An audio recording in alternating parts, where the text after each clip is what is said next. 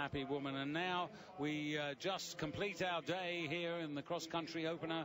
And once again, look at the Norwegians four there. It's Russia versus Norway.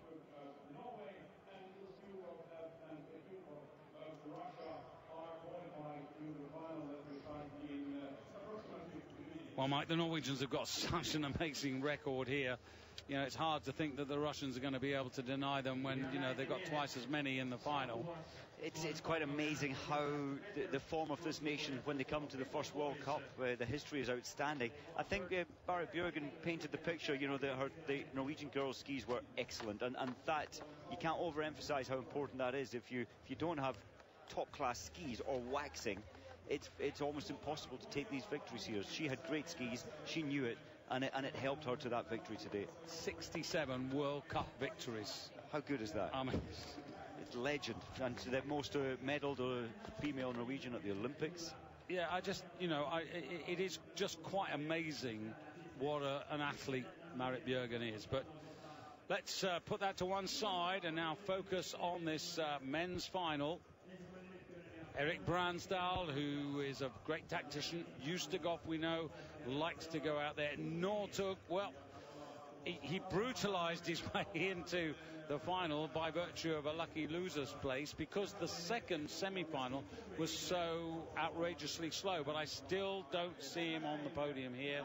But, you know, maybe I'm an idiot to oppose Petter Northug well, when it comes to the final, he, he can make magic. He can bring something special out of his own performance. I love this, this the look of this guy, Fossli. And the other thing also is, you know, uh, the controversy over Petter Northug's appalling behaviour with his driving accident and everything else.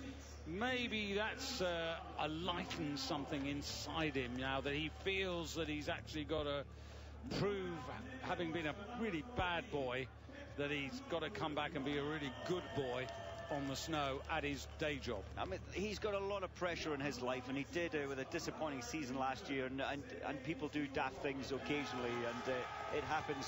It happens. It's behind him now, and I think he will be a stronger person for it. The two Russians.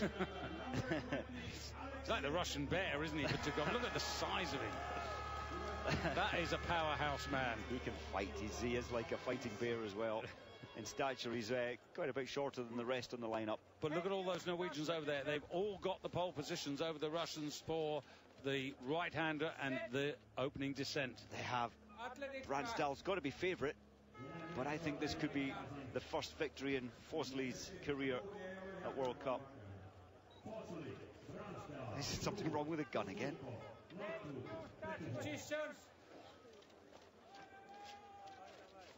Set.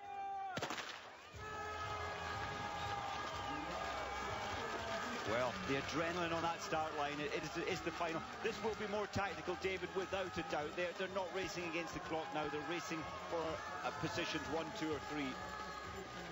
So the strategy will be different.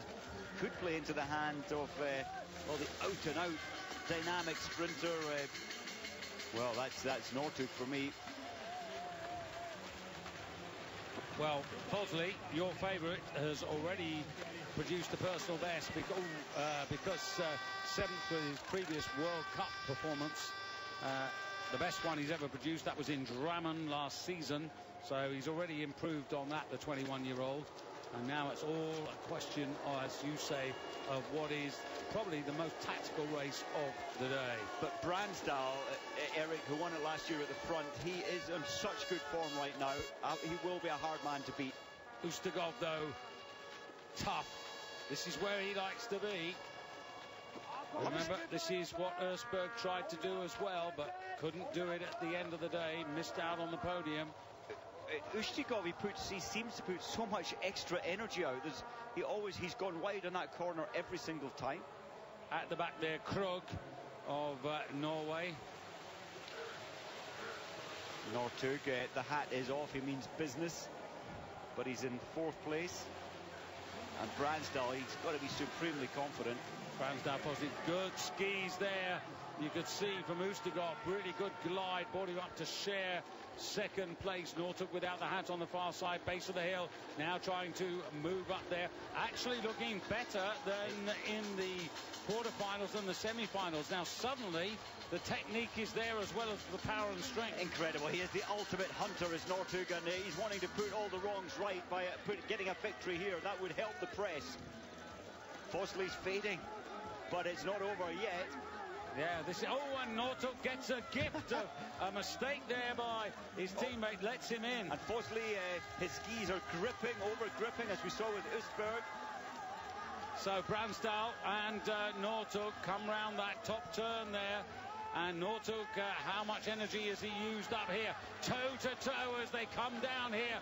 And the man who's off on the headwater starts to really push ahead. Northug's used up everything. He's got nothing else to give. And it's the man who was runner-up in the Sprints World Cup last year who takes the opening victory here at uh, Ruka. Tactically, very astute. Made a mistake just at the top of the hill. Didn't panic regained his uh, composure and sprinted past Northug, who didn't have anything else to give. Nothing. And, and, I think you're right. You alluded to the fact that he was a spent force the last time. He got through as a lucky loser. But that magic that he has in his mind, he brought it to the performance today and took silver medal. Well, he, uh, certainly his best performance, best technique, best. The whole thing came together in that last race. It was all a bit rough around the edges in the early stages. So I have to eat my words because I didn't think he was going to make the podium. He has. Fossli, personal best on the podium there. And the Norwegians, one, two, three, four. Petukhov, five. Ustiugov, six at the end. Like Østberg, did a lot of the early work leading and paid for it when it mattered most. Suffered uh, later, absolutely. But Eirik Brandsdal, there, there was unlikely anyone was going to catch him today. He just looked so, so strong, so good. And uh, he still had that extra punch, which Northug used to used to always have that extra 50 metres attack where he could match and beat anybody. Not today. So Eirik Brandsdal, whose home is Oslo, 28 years of age, he's one of the most experienced men out there today and was ninth in the Olympic freestyle sprint. But uh, this is a man who uh, actually hasn't won since Milan 2012. So that's a, a, great piece of news for him to come through and start his sprinting season, the first of nine races in the sprint division with a victory. And of course, they've got uh, they've got a clean sweep on the podium, the Norwegians. In fact, they've got the first four. Put that together with Marit Bjørgen and uh, Maiken Caspersen Falla. It's been a Norwegian sprint day here in Ruka.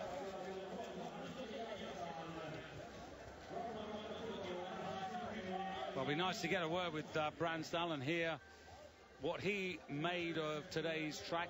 Interesting about the uh, course there that uh, Marit Bjørgen was alluding to, that the top of the hill was actually, uh, so that must have been crafted with some work that actually uh, you can't really tell from when it's covered with snow an extra two meters of, of height. Yeah, quite interesting, and, and the impact that that, that uh, had on on uh, and, and uh, it is they know this track so well that little bit of extra, two more meters, has a quite a big influence on the outcome.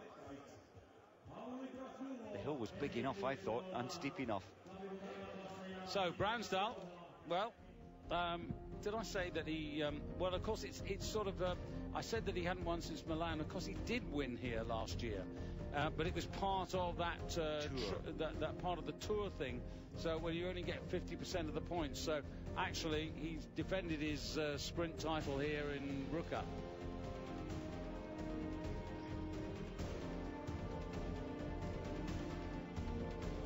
It's very strange when they join them all together and they sort of say, no, that isn't a victory. It's, it, it, it's strange for me. I would like to see that change in the tours. If you win a World Cup race, I think every race is a race, and therefore you should be yeah. uh, accredited the win in its own right if you win it. Well, and, and again, he's, it all seems so effortless for him compared to the body language of Northugo was a, a, total spend force across the line. Brandsdal is just so fired up for this victory. Well, I hope you've enjoyed that. Uh, great start to the cross-country season. More to come of that tomorrow.